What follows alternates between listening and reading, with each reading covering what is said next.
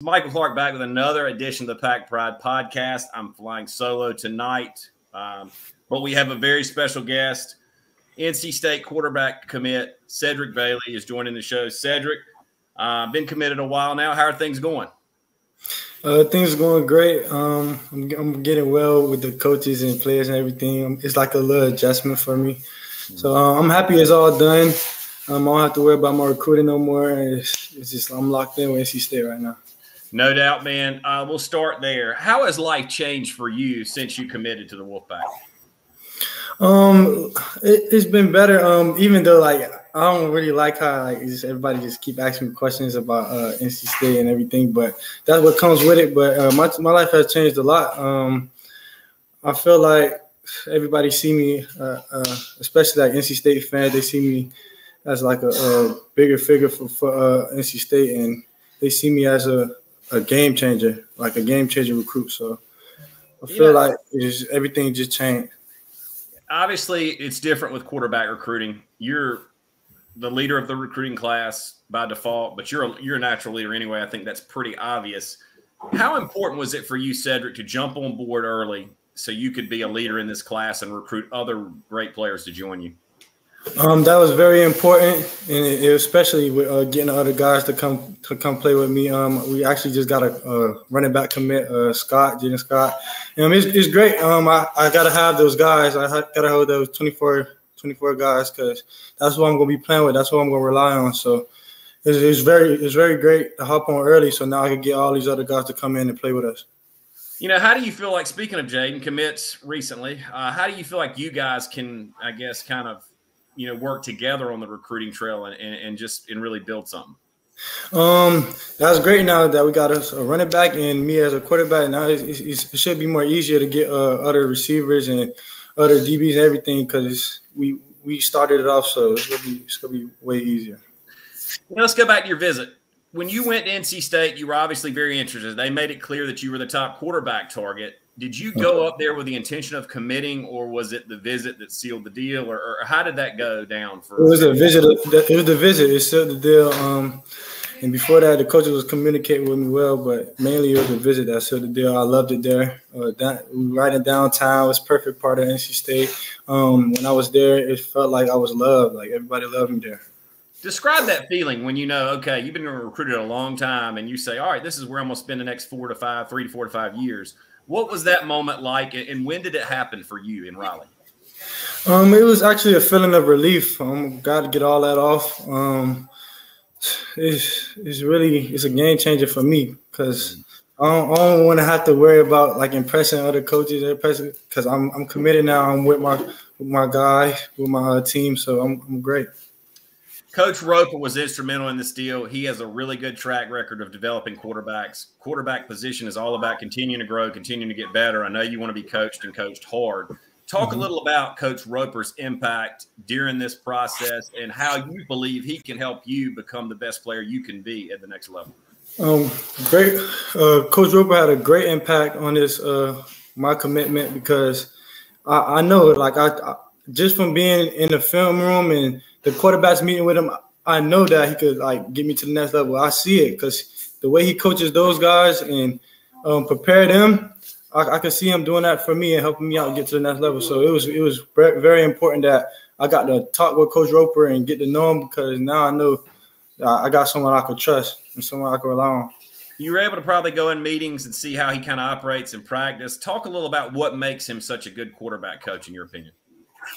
Um, he's gonna push you. He, he wants you to be great no matter what. Um, he he not gonna let you. He don't, he don't want to see you fail or none of that. But he's gonna always let you know what you're doing wrong. He's not gonna just let you. If if he if he love you, he's gonna talk to you. He never gonna just let you go. Just go away without even if you make a bad play, good play. He's gonna always go talk to you and give you constructive criticism on what you did. So that's that's what make him great.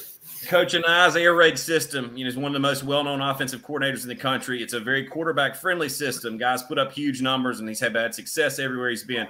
Talk a little about, uh, you know, peel the curtain back. Coach Anae, what makes him such a great offensive mind now that you've gotten to know him? Um, you know, that's what I like. I like an air raid system. That's that's the type of quarterback I am. I like to throw it, air it out. Um, what makes coach well i really didn't get to like involved get really involved with coach Anae but i could see it i could see it when i was at spring practice and everything. He calls great plays make great calls make great adjustments. He let the quarterbacks do what they want like well as far as checking plays and doing everything. So he really he he'll call something but he's really laid back with it. He'll let you be loose with it. So that's what i like. I like to make my adjustments and let and let me play and make a play. So coach coach Anae is a great coach and I love the air raid system. No doubt. Uh, Coach Doeren was obviously pivotal in this whole thing. You go to a school, one, but you go play for a head coach. When you went to Raleigh and, and just throughout your recruitment, you had a bunch of offers. You sit down with Coach Doeren. Did you just get a different vibe with him than you did the other head coaches that recruited you? And, and just, I guess, what kind of sold you on Coach Doeren and his vision that he has and what he's established there in Raleigh? Um, Coach Coach Doeren is a really cool guy. He's he's really cool. Um, he's a great great talker. He's really communicative communicative with his players and um with recruits and everything. So it is is is really big. He's a great coach. He's way I say way different from other coaches because they don't they keep keep in touch with you how he he he lets you know everything from the jump. He explains everything from the jump. So other coaches I, I don't know, but they're like iffy. So I, I really trust Coach Doeren. Like really coach.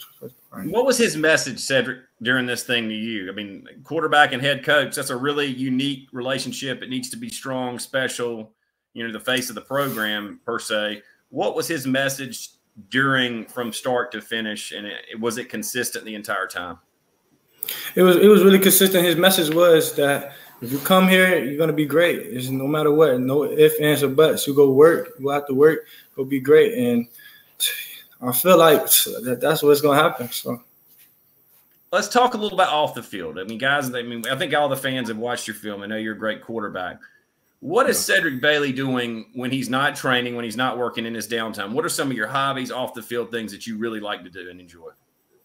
Um, off the field things, I'll probably just play video games or something. But I'm really, I'm really focused into football and school and stuff, so I rarely have time for that. So, got you. Um, speaking of, of football and training, now that you're committed, you know the, the focus is is obviously your team, spring ball, and all that type of stuff, and then getting ready for your senior season.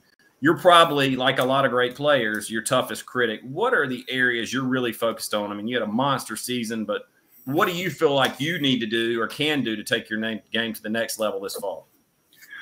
Um, I, I really need to focus on keeping my my my mechanics mechanically uh, sound during the game because like I could go in like a one-on-one quarterback session and, and, be great with my mechanics, but when game time comes, I, I tend to get sometimes off of my mechanics. But I always tell myself I always got to talk to myself and tell myself to like lock in and focus on your mechanics through every play. So it's not gonna really be a big deal this year because in practice I'm looking great. So hmm.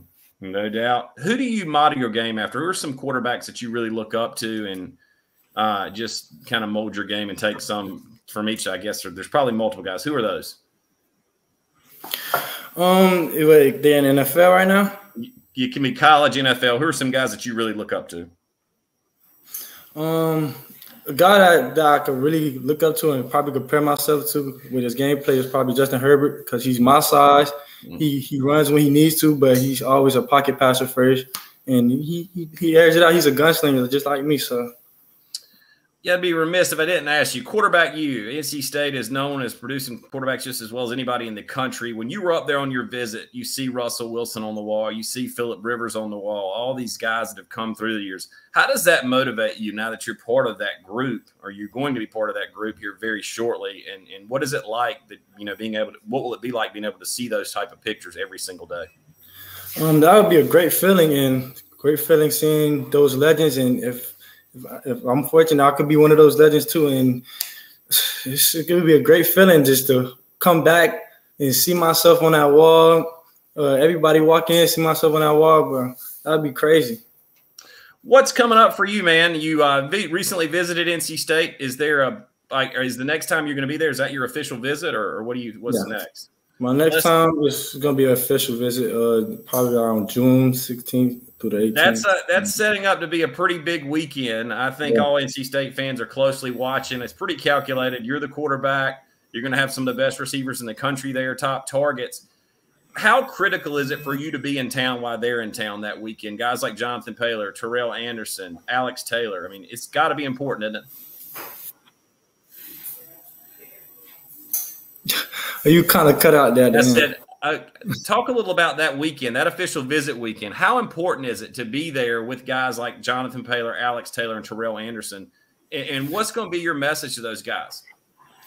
Um, it's it's gonna be very important for me to be there because now I could get to get in there and let them know what is it, what it is, and what it's gonna be. Um, my message to them is that you go come in, you go come in, you go out to work. No matter where you go, you out to work. So you come in here, you, you probably got to work, and you go be the you could be the starter, but you got to put in that work. But I want I want I want to talk to all those all those receivers, especially those receivers, because I need someone need those guys to throw to. So I need to get when that week weekend come, I need to talk to all of them. What are you going to tell them about what you believe? What's your vision for NC State when you are there? What you feel like y'all can build as a team?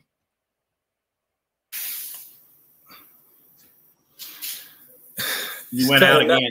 Yeah, sorry, yeah. you cut out again. Anyways, what are you what are you going to tell them about your vision? What do you believe your vision is for the program and what y'all can accomplish together that weekend? Uh, um, of course, I'm gonna tell them that we're gonna win the championship. That's that's my that's my main goal is win the championship together, and we're gonna make it far. No doubt. Last couple things. NC State fans were very vocal all over social media when you committed, when NC State was recruiting you. Describe the feeling as a big time recruit when you see that type of support from a fan base um, from the from the jump. Oh, that's a it's a great feeling um, to know that uh, the whole way, but uh, it's a great feeling to know that I have those fans at NC State because now I know on game day they got our back at home games especially. So, absolutely. Uh, you know, last thing, if you know, last couple things, you know, what would your message be to NC State fans? What can they expect from you? I mean, obviously, you got a big senior season ahead. You're going to try to win another state championship. But what what what do you what would you like to say to NC State fans, and what should they expect from you know you as a player? They will expect a winner, a leader, and a playmaker. So my my my number one thing is it's a winner. That's, all we go do. We go win. I know y'all like winning, so that's one the number one thing. Last thing, uh, you know, recruiting is, is, so big now. We've talked about it in in general, in depth. What is your role like day to day now between now and December? And who are some of the main guys that you're really focused on trying to get to join this class with you? My role right now is to, to keep recruiting, and you know, I was go I wanted to get those guys, uh, t- like Terrell Anderson, you know, Jordan Paylor, um, Ken, Keenan Jackson, all of them. I need all the receivers that we can get. So we, we, we I feel like we're good in the backfield right now. So it's, it's looking tough. No doubt, man. Last last thing, I, just in general, it looks. I mean, y'all, you were happy when I spoke to you, but I think has it, has it really set in with you that you're going to be playing in the ACC in front of sixty thousand people every week? Yes, sir. There's no doubt. What is that feeling like? And, and now that that's really set in, that this this is gonna this is real. Um, it's a, it's this is a great feeling. Now now I know I kind of know where I'm going at with, with my life, and I kind of know what I'm going to do in the next couple of years. So it's, it's a really great feeling. Got to ask, state championship last year. You guys are probably a significant favorite this year, but you're going to have to earn it. What is yep. is going to be the key for you guys to get another state championship? Um, the key is going to be to stay focused and play physical every game and have a perfect game plan. And we have to just stay focused every game. So that's that's going to be the key. Look, man, this has been an absolute pleasure, Cedrick. We appreciate it. We'll have you back on here if you'll do it again. Best of luck during spring ball. Look forward to seeing you in Raleigh soon. Congratulations on the decision, man. Thanks so much for joining us. Thank you for having me.